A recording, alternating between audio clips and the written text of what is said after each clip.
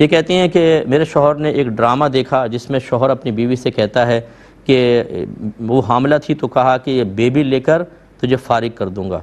तो मैं और शोहर बैठे हुए थे तो हँसते हँसते उन्होंने यही डायलॉग मेरे लिए कहा कि, बेबी लेकर तुझे फारिग कर दूँगा। तो मैंने कहा कि, भाई, तुम ऐसा ना कहो, इस लफ्ज़ से तलाक भी हो सकती है। तो शोहर ने कहा, तुम तो पागल हो, मैं तो ड्रामे का डायलॉग दोहरा रहा हूँ, मज़ाक में मैं तलाक को ही दे रहा हूँ। देखिए, पहली बात तो ये कि इससे तलाक नहीं हुई, क्योंकि जो फ्यूचर के अल्फाज होते हैं, उनसे तलाक नहीं होती। तलाक दे दूँगा।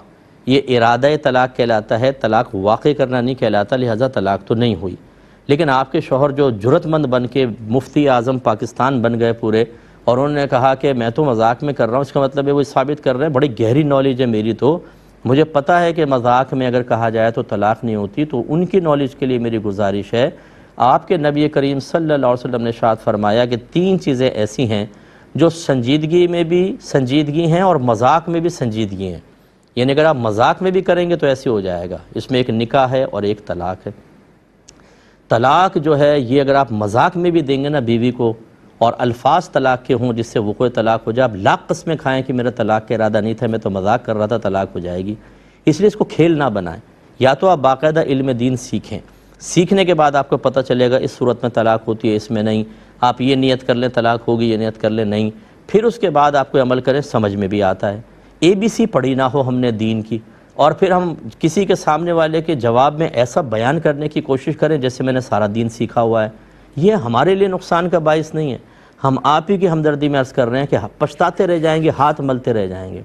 कितने लोग, मैं तो यह रात दिन हम केसेस हमारे दारुलफ्ता से अगर सौ फतावा जारी होते हैं तो उसमें तकरीबन नब्बे इस तलाक और खुला के होते हैं। तकरीबन नबे दस और दूसरी चीज़ों के होंगे। तो आप अंदाज़ा करें, इतनी तेज़ी से तलाक़ें हो रही हैं, क्यों हो रही हैं? उनमें बहुत सारे केसेस रहते मुझे तो पता ही नहीं था। मैंने दे दी तलाक। मुझे तो मालूम ही नहीं था। तलाक कैसे हो गई?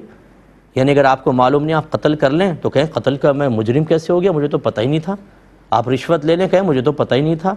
आप चोरी कर लें, बोले, मुझे तो पता ही नहीं था कि चोरी हराम है। इसका मतलब है आपका मालूम ना होना हर गुनाह को आपके हक़ में जायज़ कर देगा। तो ये हमारे यहाँ बड़ा गलत मामला होता है। तो बहरल बहन, अपने शोहर को मेरी एक क्लिप सुना दें। अगर पॉसिबल हो, ये यूट्यूब पे हमारा प्रोग्राम डलता है।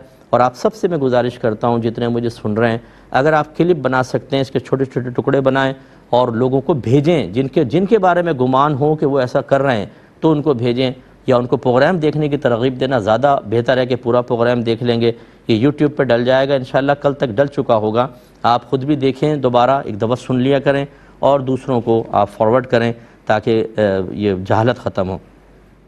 एक आखिरी क्वेश्चन ले लेते हैं। किसी ने